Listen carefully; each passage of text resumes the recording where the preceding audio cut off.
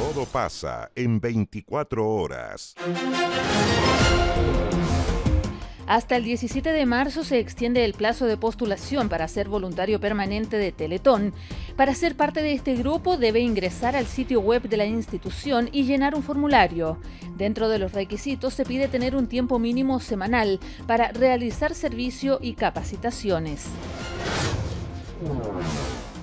Pelarco recibió un camión Amplirol y seis bateas acopiadoras que servirán para dar curso a puntos limpios en el corto plazo, efectuando una recolección de desechos no domiciliarios.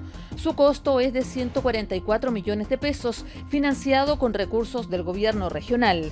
Será un actor protagonista en la eliminación de microbasurales. A través del sitio www.innova.fosis.cl se puede postular al programa Innova Fosis 2024.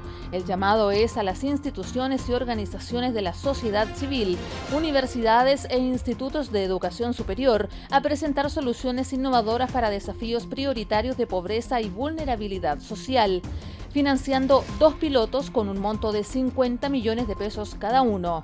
Este año los desafíos apuntan a la inclusión laboral y fortalecer habilidades en jóvenes y adolescentes. Todo pasa en 24 horas.